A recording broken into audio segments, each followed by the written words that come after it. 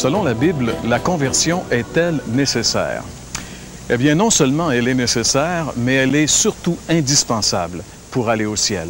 C'est en tout cas la déclaration formelle de notre Seigneur Jésus-Christ que nous pouvons lire ensemble dans l'Évangile selon Matthieu chapitre 18 et le verset 3. C'est Jésus qui parle et il dit ceci. Je vous le dis en vérité, si vous ne vous convertissez et si vous ne devenez pas comme les petits-enfants, vous n'entrerez pas dans le royaume des cieux. Le mot conversion étant un mot assez rarement utilisé de nos jours, il est bon d'essayer d'en comprendre le sens. Le mot conversion est la traduction française du verbe grec strepho, qui signifie littéralement se détourner ou changer de direction. Par nature, nous tournons le dos à Dieu et à notre Seigneur Jésus-Christ. Et la conversion, c'est justement réaliser ce fait et changer de direction.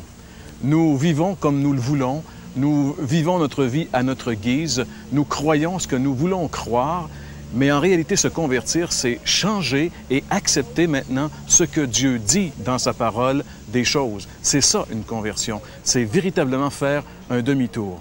Alors donc, le Seigneur Jésus-Christ nous dit dans sa parole que si on ne se convertit pas, on n'entrera jamais dans le royaume des cieux.